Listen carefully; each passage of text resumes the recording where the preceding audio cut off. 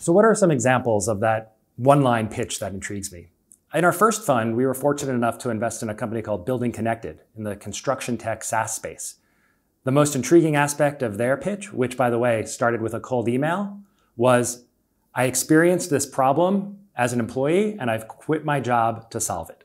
Great. I know somebody immediately has empathy for the problem. They come from the industry. And I know that they've proactively taken a risk to want to build a company to solve the problem for the people that they used to work with. Not if you fund this, I'm going to quit my job or I'm thinking about quitting my job. It's they took the first step and now they're asking me to join them.